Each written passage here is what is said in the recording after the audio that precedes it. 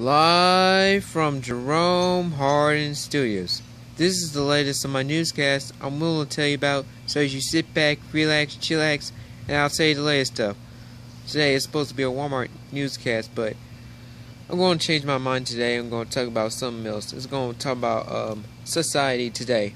Well, the newscast about Walmart is going to come up tomorrow or anytime this week, so keep a lookout because it's going to be awesome. So today in society, um, back then it was very peaceful, quiet, and everything seems fair. The gas prices were low, food prices were low, no fighting. Well, there were some fights back then, but not as much as today, you know. But you know, also, um, you remember the kids are just having a good time, having fun, playing basketball, playing video games, bunch of stuff I mean, most of the teenagers, 13 through 19, just want to hang out and just have a good time and stuff. But today, um, teenagers are just like they want to have babies, want to have sex, want to drink, smoke, anything. I mean, this is crazy for real. I mean, now they're on Facebook, even the girls. I mean, young as um 11 years old. Um, they trying to get with older men, lie about their age, talking about they're 19, 21, 22 years old, really they're just 11, 12, and 13 years old. Um, they trying to be um, a bunch of little sluts and thoughts. Um, really, that's true. I mean, there are a lot of teenagers out there that just want to do adult stuff, and then the girls get pregnant, and then the guys leave the girls to trying to take care of the babies on their own, which is not right because it wasn't that much deadbeats today. It was a lot of deadbeats today. Sorry about that sentence, but truth truth is, um, there was a lot of deadbeats around this world today. Unfortunately, um, but there are a lot of men that stepped up to take care of the babies and stuff. Even the boys that are 13 or older, some of them are just still take care of the babies, try their best, and despite their dreams and schoolwork and stuff. But I just salute them. But you know and all the girls um society on social media um they just posting pictures of themselves naked half naked and trying to be sexy for all the boys and stuff.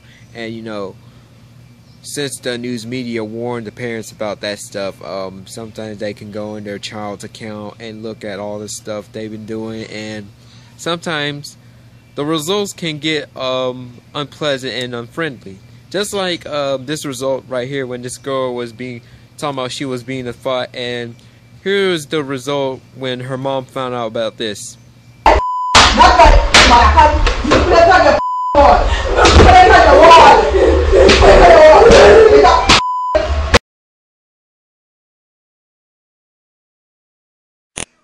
Hi, my name is Pablo Melendez. I'm Tatiana's father. And I want to invite everybody on Facebook who got in her account, who whatever is older enough, over 17, 18 or whatever, do not talk to Tati because Tati is only 13 year old. We found out she been talking to other people, doing stuff she should not be doing. We also find out that she she got busted, lying, smoking weed, lying to people, then she's 17 when she's really 13. Whoever do not I want to get charged with statutory rape or attempting to rape, please delete her out of Facebook. Anybody out, if I see any other comment after today, you will get arrested. Well, it wasn't fun to watch, was it? People gotta be careful, cause you know, if they have the brains, they can just um, go in there and just lock their computer down or lock their account up for uh, certain people to see and not everybody, so nobody can't see it, including their parents, cause you have to be really, really smart to hide your stuff. Cause if you don't, the parents will find out. But yeah, I was a kid once. I used to do a lot of sneaky stuff. So, so learn from experience and just don't get caught. That's all I had to say. And a lot of riots around this world today, just like black people getting killed by police, but it wasn't true. It wasn't that no reason that uh, black people are getting killed by police. It was just because they committed crimes and stuff, and uh, all the black community are trying to defend that uh, that person got shot for no reason. Well, that person must have did something for them to shoot shoot them, just like um, this one incident here in Huntsville where a man got got shot because he was stabbed. He was lunging at police with a knife, so there was no reason for him to just blame the police for that because all the police were doing they they were just doing their job. Seriously, I mean there's no reason for them to protest like that. So good thing there's not a protest today because if if it, if it is then I don't know what what I'm going to do. So and anyway, so all I have to say is that um there are just riots and more riots every day because one certain person got killed for just no reason, which there is always a reason that everything happens.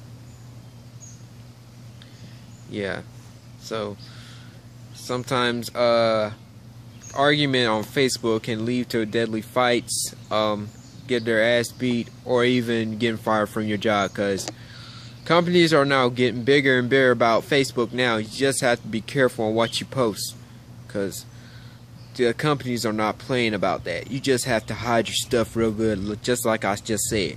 Because just like I just said about the teenagers um, doing uh, dirty stuff on the social media network so older men can find out and they can look at their bodies and stuff and just talk to them sexy and stuff.